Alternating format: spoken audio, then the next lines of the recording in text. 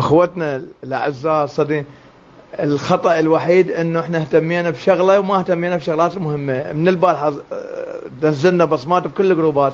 سيطر على الموانئ سيطر على تصدير النفط الخام سيطر على المطارات.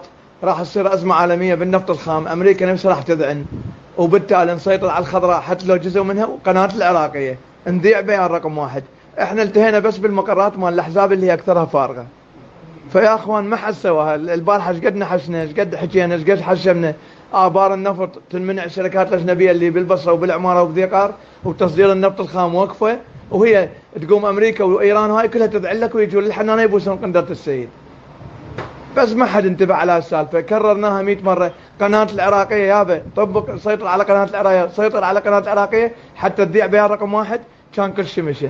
ما صارت ظلينا نقاتل بس بباب التشريع.